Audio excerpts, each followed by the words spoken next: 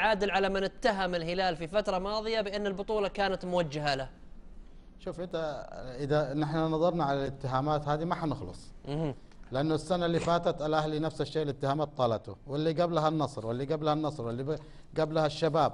فالأمور طبيعية يعني. هو تقليل من من من البطل من تحقيق إنجازه فقط. نعم. لكن أنا أعتقد انه ال- كل الأندية اللي قبل كده استحقت ال- اللقب.